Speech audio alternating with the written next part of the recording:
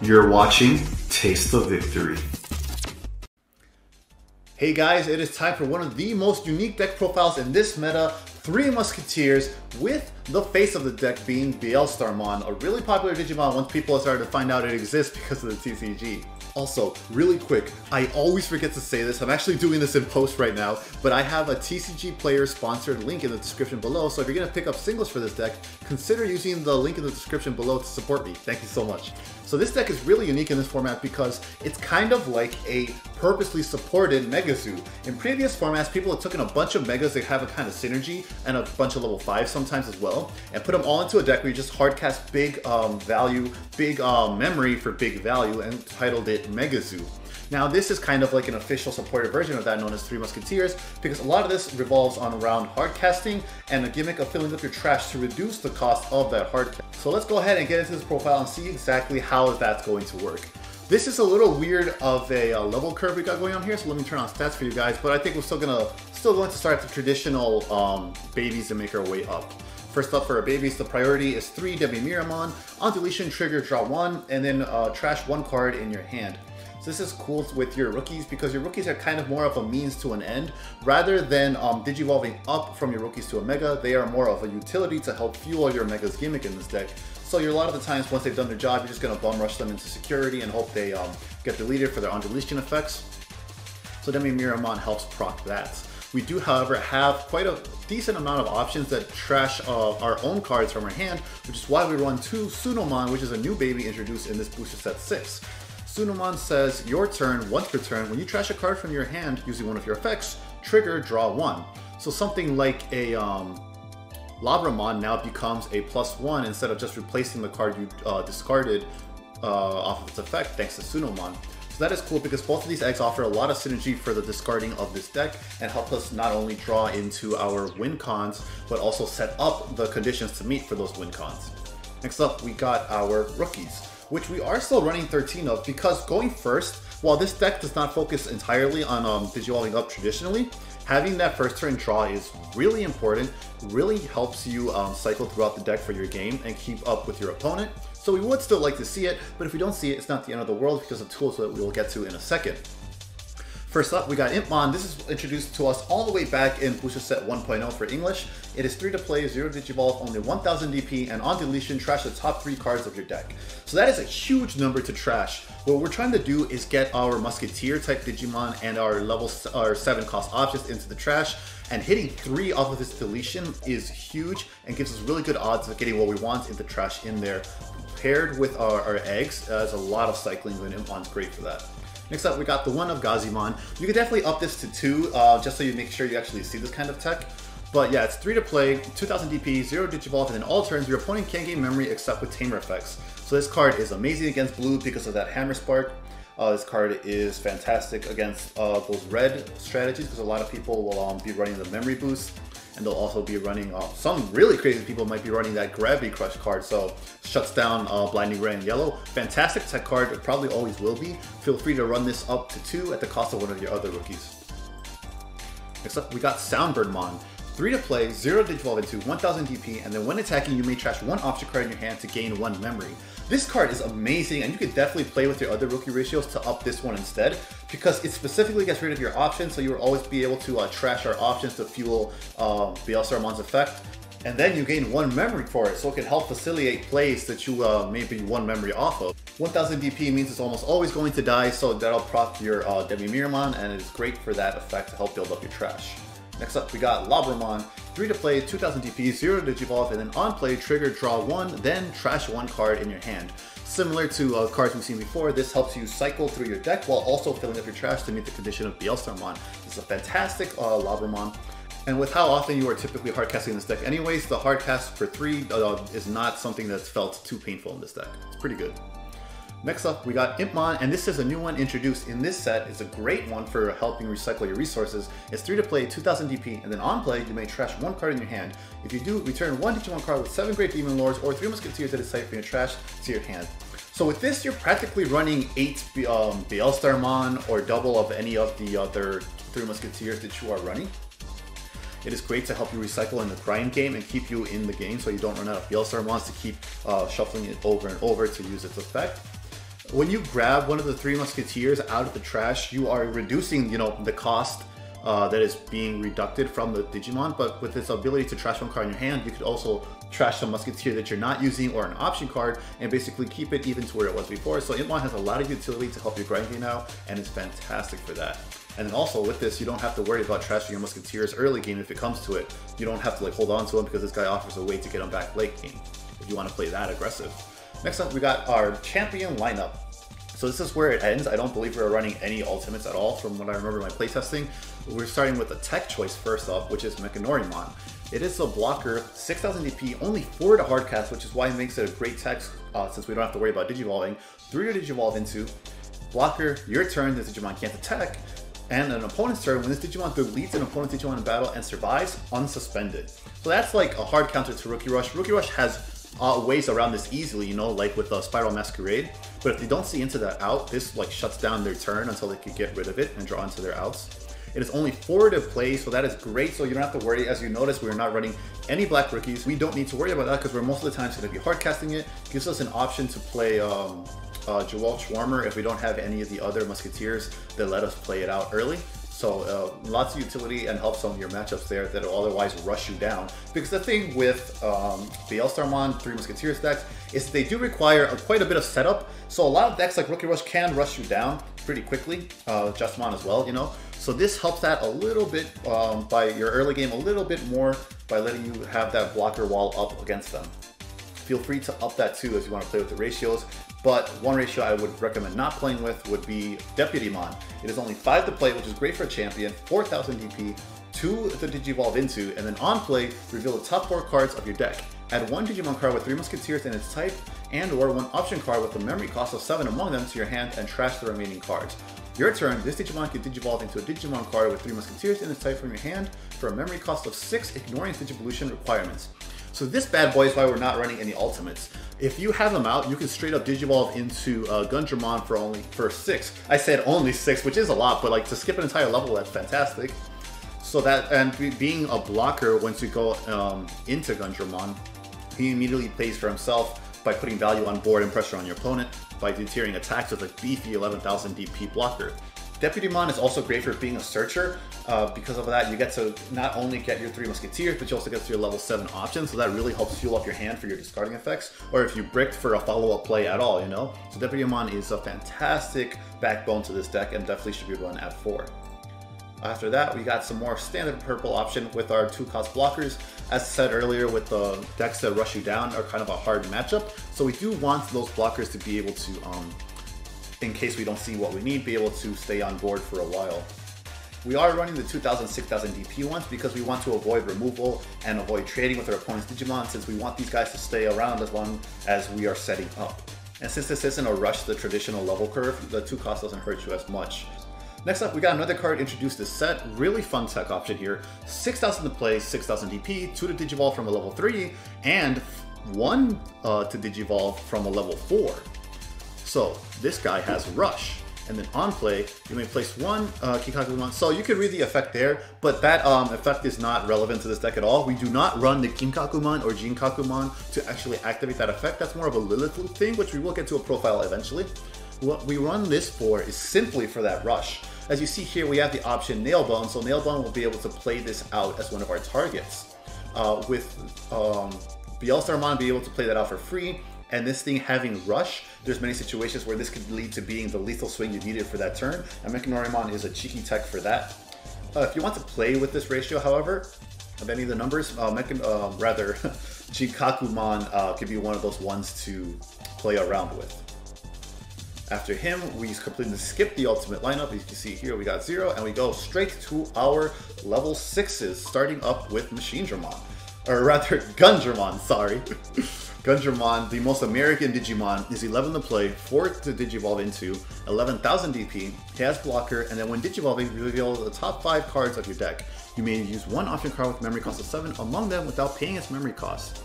Trash the remaining cards if uh, trash the remaining cards. If you don't use an option card with this effect, delete one of your opponent's Gundramon with a play cost of 4 or less. This is awesome because this when Digivolving, as uh, said, helps uh, synergize with the warp that you get off of Deputymon potentially helps you come back with a free option, uh, clearing a big threat with Fly Bullet, or clearing their uh, swarm board with a Gerard Swarmer. And if you, you don't hit it, you get to destroy the level 4, so if they had like a blocker out or something, that is now gone. That blocker, if you're able to get it out, it really helps you too by deterring swings or trading with a big threat and makes a, uh, your opponent in a hard spot. So then we get to the very face of the deck. We got BeelStar. This is going to be one of the most popular cards in this meta for many reasons. But let's get to the reason for its effect. 12 to play cost, 3 to Digivolve into, 11,000 DP, and then when playing this card from your hand, reduces play cost for each 3 Musketeers Digimon card and option card with memory cost of 7 in your trash. On play, return one option card with a memory cost of 7 from your trash to your hand, then use one option card with a memory cost of 7 in your hand without paying its memory cost. So not only can this Digimon get incredibly cheap. Like you can get so much stuff in your trash that eventually this card would be played for um, like two costs, three costs. Very, very easy to hit that. But not only that, you also get to play a huge, impactful option for free off of it as long as it costs seven, which everything we were running does. And all these options are amazing tools to control your opponent's board. So BeelStarmon be able to recycle itself with Impmon, be able to recycle an option, be able to play itself for so cheap is incredible pressure that breaks the level curve and puts so much pressure on your opponent if they can't out it right away. You, uh, late game, you are set. If you survive into the late game, you are really hard to lose. Like, you are very much in a good position to keep pressuring your opponent by recycling this Digimon and its effects that it has throughout its deck. BeelStarmon is crazy threatening. That's why we run four of it, guaranteed, never any less. That covers the core of our Digimon. Now let's get to the level 7s. First up, we got Millenniummon. This guy's been taking a back seat to the hype that is Zwart and Zwart Defeat. He's been getting cut from a lot of purple and blacklist, but Millenniummon still has a ton of utility, which is why rather than going all in on four Zwarts in this deck, we are running 2-2 split here with Millenniummon. He is a level 7 that is 6 to Digivolve into, 13,000 DP, and the reason we're running him, when Digivolving, return one of your opponent's Digimon to the bottom of their deck, trash all the Digivolution cards of that Digimon. On deletion, if this card had Digivolution cards, you may play this card for your trash without paying its memory cost. The ability to have non-targeting, non-destructive removal that sends to the bottom of the deck is really big in this meta and going forward thing with this is like it's really great in the mirror because you have like Beelzemon rather than uh, returning it to trash to fuel up another one or to be able to search out by another Impmon, you can bottom deck it here. Uh, same with Eosmon, same with a lot of Digimon strategies in this meta. So Millenniummon's a really great target to be able to get rid of that. Also in mirrors or in general, when your opponent has a level 7, it is very hard for you to remove it because if we look at all of our removal, it's pretty situational like Trump Sword or uh, limited by level or something other like that. So to have a completely free target to be able to actually get rid of our uh, opponent's level 7s gives us a lot more utility, a lot more options, and gives us a lot more hope to actually draw into something that can remove that level 7. Because otherwise it's really hard for um, three, three Musketeers to start coming back from that pressure your opponent has placed on you once they got to their level 7 which is why you should not sleep on Millennium on this meta. Next up, we got Omnimon Zwart. Everyone knows this one after how crazy hyped he was in BT5. We got uh, Digivolve for 6, 15,000 DP. When Digivolving, trash, trash the top three cards of your deck, which plays well into making your next Beelzemon even cheaper. Then you would play up to two Black or Purple Digimon cards as a play cost of 8 or less from your trash without paying their memory costs. Again, this is another way for us to play out the um, uh, Ginkakumon Promote, which has Rush and Conceal Games if you like Digivolve into this guy without passing somehow and also just helps you like maybe put out a blocker, helps you put on uh, more pressure on board to seal the game next turn. And then when attacking, you may return one level 6 Digimon card from this Digimon Digivolution cards to your hand to delete one of your opponent's unsuspended Digimon that has a play cost of 12 or less. So this helps you remove your opponent's level 6s ideally, and helps you recycle uh, Beelzemon, which is why it's also a good level 7 to pair in this deck alongside Millenniummon. And really, which one you want to go all in on is up to your personal preference. I'm just using Millenniummon for the reasons stated previously. You can even have, uh, here's a tech section right here, tech. You can even uh, make argument to run Magna Kidmon, which is also a 3 Musketeer, and then run Millenniummon, because you have some deep Digivolving you could do, and uh, which uh, messes up Jessamon in particular, since it relies on its inheritables a lot, and also a lot of decks like a Gabu Bond right now, um, A lot of his stuff will be destroyed because they're like base base rookie rush by um, Alter S, and you will run this Magna Kid to uh, be able to Digivolve Alter S over it. If you do this, I probably wouldn't run more than one Alter S. Um, just to not brick on it since oh, Magna Kid is your only well also you can Digivolve over Gundramon since it's also red and black but yeah that's just uh, more targets to um, if you would decide to run the Alter S. It's definitely a decent meta call that you, if you're considering it, should definitely try it out. After that, we run to our options, which fuel Beelzemon's ability to reduce its play cost. We got Gerald Schwarmer, Gerald Schwarmer, which is Gundramon's option, 7 cost, like all these other ones will be. If you have a Digimon with 3 Musketeers in its type in play, you may use this option card without meeting its color requirements, which is the amazing thing about all the 3 Musketeers options. Then main, main delete all Digimon play cost of 7 or less. So be careful. Keep in mind this also uh, deletes your side of the board 7 or less. So you if you have a bunch of rookies and you're able to swing, make sure you swing with them before casting this option. And then a security effect adds owners to its hand. So this is great for the Rookie Rush matchup. It's great for coming back a board that's gotten too wide while you spend time building up your trash for Beelzemon or any of the other Musketeers. And then we got Trump Sword, just good old-fashioned purple removal. Main, delete one of your opponent's unsuspended Digimon. So that is kind of uh, hurts when you uh, reveal this in security and their only target is already rested because they swung with the stack they went all in on. That's kind of annoying thing about Trump Sword, but it is still good removal. A lot of opponents uh, may play around your other options rather than this one and, uh, and leave themselves open to this. It's definitely great just for that 7 cost to have. Then we got Fly Bullet. This is the new option introduced for Beelzemon in this set, or Beelstarmon. I hope I haven't been saying Beelzemon all video. if you have a uh, 7 cost, if you have a Digimon with 3 Musketeers, so same thing, uh, you can play it without meeting the requirements. And then main, delete one of your opponent's level 6 or lower Digimon. So this goes back to what I was talking about, where we don't really have too many outs to level 7s and uh, level 7 Digimon. That becomes kind of rough. But uh, otherwise, this is great removal that um, black, or rather purple, has been wishing it had the entire game up until this set. You know, because uh, their equivalent of Gaia Force, the Trump Sword, was pretty conditional. This one is now a little more lenient. And then activate this card's main effect, which is fantastic. Always love to see that in security. Then we got Nailbone. This is from the purple starter deck. It is also 7 cost, and you may play one purple level 3 Digimon card and one purple level 4 Digimon card for your trash without paying the memory cost. Any on-play effects on Digimon don't activate. So I said earlier, you combo this with uh, Beelzemon and they get Ginkakumon promote out for free and hope to end the game with Rush. And a security effect is to play a level 4 or lower Digimon, again, uh, on plays don't activate. So this helps you establish board presence about against decks that are more aggressive with clearing your board, like Security Control. Finally, we got Magnet Kidmon's option, Happy Bullet Showering.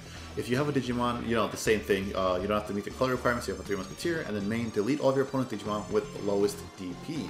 So, Rookie Rush, this will mess them up a lot if they uh, hardcasted a bunch of level 3, or rather 2 cost, 3 cost Digimon. Or even if your opponent has like 2 Digimon that are 10 cost out, you know, they are both still technically, and that's all they have out, that's technically still the lowest, both of them are the lowest Digimon with DP so you can wipe their board that way as well. So just more, you know, options to um, uh, use it if you have a three musketeer out, and if not, it is perfect fodder to delete uh, or to trash into your security for Beelzarmon's effect. And finally, we're going to end this off with our tamers. We have a uh, three here with a two-one split. First, let's start off with Matt. He's a memory tamer that guarantees you your three or more, and then he has on-play return one purple Digimon card or option from your hand. So this could grab you an option you may need to use in a pinch, or this could grab you one more uh, Beelstarmon. We have so many ways to recycle her uh, between this and all the other Digimons, Tamers. And then uh, our bigger priority here is Sora and Mimi. Start of your turn. If your opponent doesn't have a level 4 or lower Digimon, gain 2 memory. So that effect uh, does kind of handicap you in certain matchups, like uh, um, against Rookie Rush, against some of the bonds. But your turn, when one of your opponent, uh, when one of your purple Digimon attacks, you may suspend this tamer to trigger draw one, then trash one in your hand. So again, it's another way to cycle through your deck and get closer to your pieces while also filling up your trash. I like having all these effects that um, basically do that to help you search more and more. From security, it plays herself so this really becomes a, man, a matchup dependent tamer because like like I said against Rookie Rush it could really uh, mess you up. But a bunch of other decks, uh, they will be hard casting, uh, or not yeah, like hard casting like champions and up and digivolving uh, over them, um, giving you the guaranteed memory off of this. Well, not guaranteed, but you know what I mean. But definitely this uh, will depend on your locals because with things like Jessamon running around, hard casting level threes for free, uh, like Sistermon Blanc, I believe uh, that gives you a harder harder chance for this to go off, like less of a chance to go off. So you can definitely play with this ratio between Matt and Mimi, and it's up to you. Personally, I prefer it more for its second effect to be able to um, fill up my trash and draw close to my pieces because we're going to be hard casting a lot of time in this deck anyways. But if you value the more recyclability of uh, the Elstarmon and guaranteed memory, you could run Matt. So that is going to be this deck. It is a really fun deck that breaks the traditional level curve, but you know, don't let people tell you like, oh, this deck is uh, breaking the game. Um, you are uh, disrespecting the spirit of the game, lame for playing it, because this deck has to work to get up to breaking the level curve. You know, you have to grind through your deck, to trash all those pieces and then uh, manage those resources well. You know, did I discard the wrong card? Uh, should this have been in my trash when I held it in hand and now I can't play it off the All-Star? All that. It is a very fun deck that has very creative gameplay uh, branching paths, uh, deck building paths. It's amazing. This is only one suggestion. There's many more ways to build this deck. I would love to hear what you guys uh, think of it. How are you building? And I'm really looking forward to playing this uh, with friends and stuff. It's a really cool deck. I will see you in the next video and hope you enjoyed this one. And until that next video, remember to stay hungry until you get a taste of victory.